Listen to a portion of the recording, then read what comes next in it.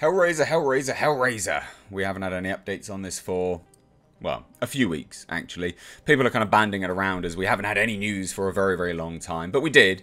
We had confirmation that the Hellraiser reboot movie, put on distinction there, because there is an HBO series in the works. Uh, the Hellraiser reboot movie is coming to Hulu, which was, eh, shame. Um, but that's not a surprise because, of course, Clive Barker has a working relationship with Hulu. He now owns the rights back to Hellraiser. So it's not a surprise that he would then gift it to Hulu, um, I guess, by means of allowing the movie to happen and getting some money on the back end. Who knows? We don't actually know the deal that's transpired, just an educated guess. But we do have a major update. And this is a major, major update. Uh, there's two things. One, there's a lead that has been cast. Uh, so we're going to explore that, but then the second thing is that people are banding it around that uh, they're going to have a gender swap pinhead. It's really important to note, actually, if you have ever read the Hellbound Heart, Pinhead was never actually a clearly defined gender. It was the, the character, the entity, was very ambiguous. In fact, it had a female's voice.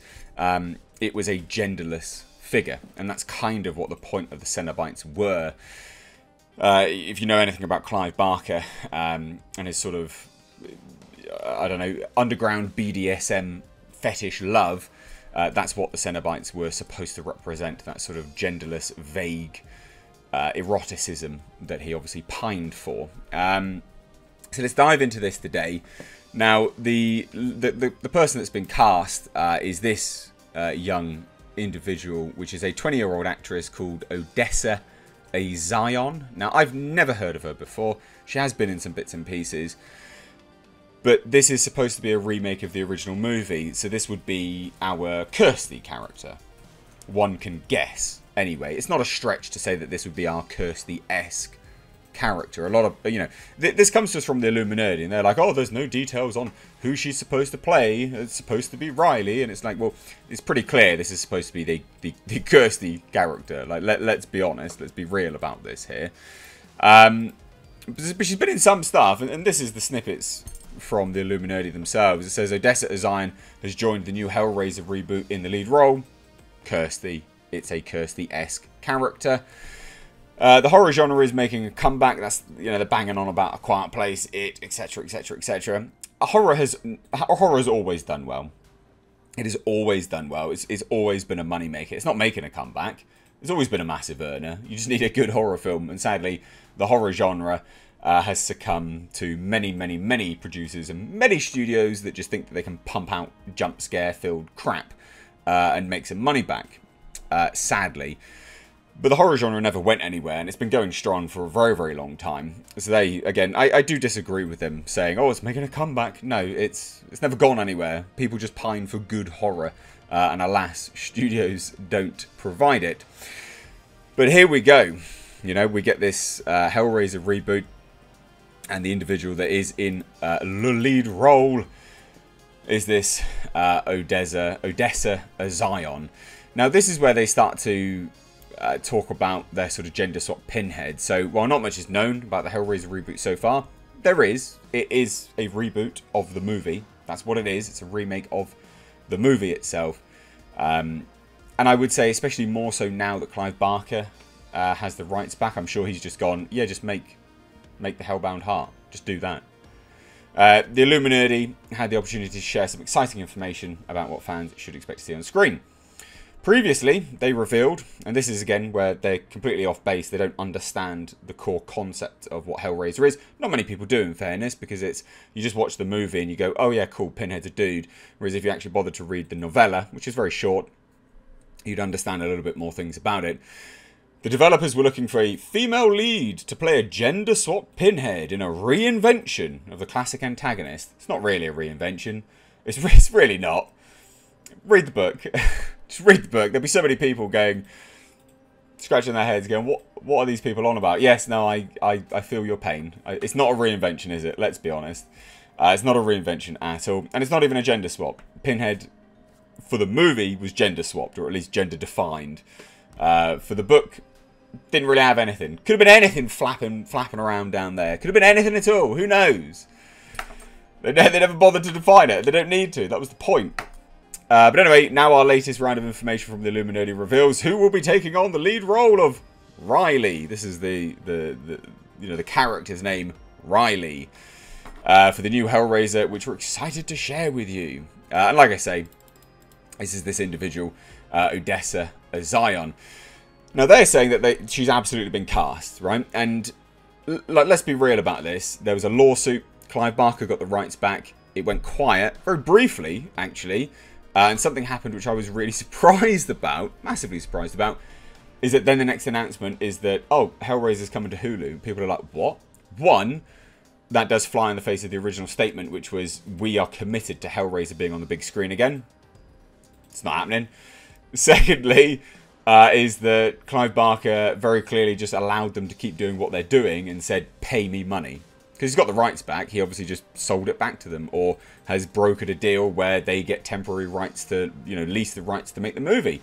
Quite smart of him, actually. It means that he can make a rather large paycheck on this, uh, and because the movie, the reboot movie, never actually had a distributor all throughout this phase, and Clive Barker has this working relationship with Hulu. I'm sure that was part of the deal. He said, "Give me this money, give me this.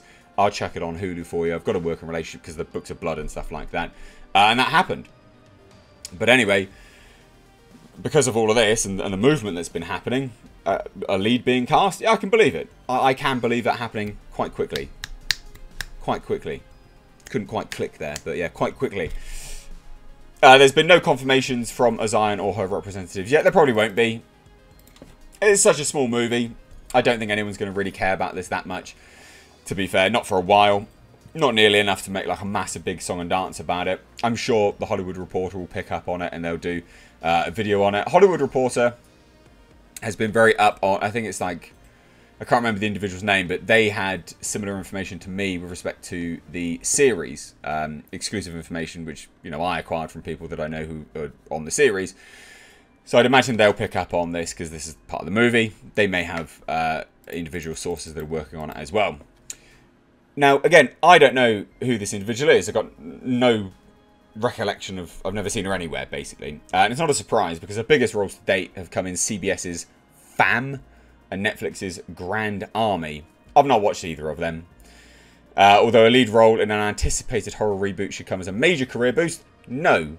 In fact, this could be the. Uh, well, it could be the gravestone on her career uh, let's be honest, is that Hellraiser doesn't have a massively great track record, uh, and reboots never never do particularly well. So I don't know about this. Now they obviously say now the wait begins to see which other actors fill in uh, the numerous other roles which will bring this project to life. So look, um, as as an actress, fine. Like I can see her in the role of Kirsty. I've never seen her in anything else. I will go and do a bit of research and have a look. I'm sure she's fine how, how good you need to be to be the role of Kirsty? Not that good. You don't have to be Oscar. It doesn't have to be Oscar bait, right? This movie doesn't have to be Oscar bait. It just has to be serviceable. It has to be a good horror film.